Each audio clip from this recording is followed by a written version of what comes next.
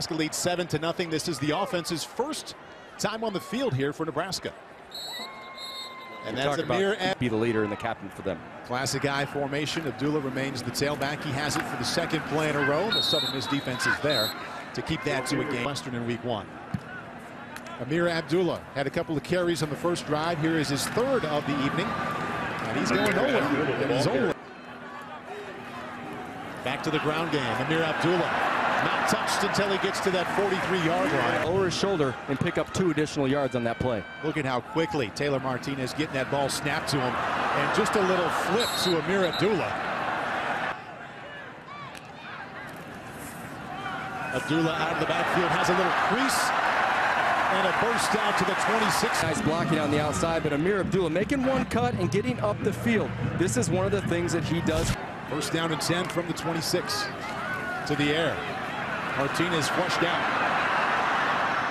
Wisely just I do. I agree with that. I think take a shot. You got Quincy and Enunwa who's, uh, you know, going to go up and get a ball over anybody. So I like the call.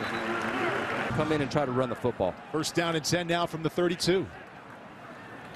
Inside give to Abdullah. And watching Taylor Martinez in the state of Illinois for receptions, receiving yards, and also receiving touchdowns.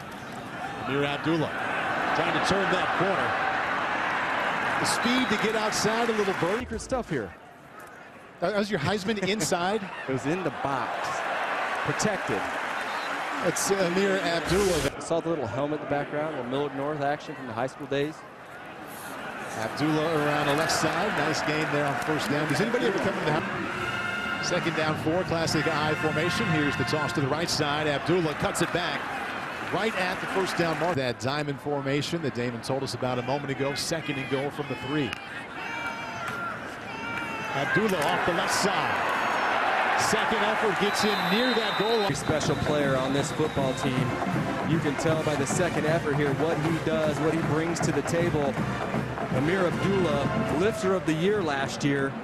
So you can tell his work. With Martinez to start this second half.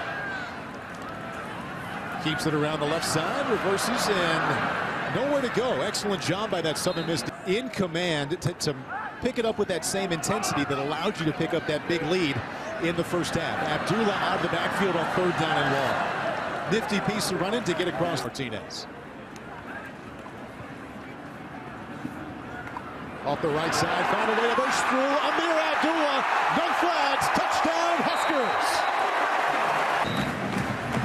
Take a peek here at the offensive line, just finding their blocks. A couple extra linemen kind of looking for other blocks, and you know, taking them out right now is a good idea.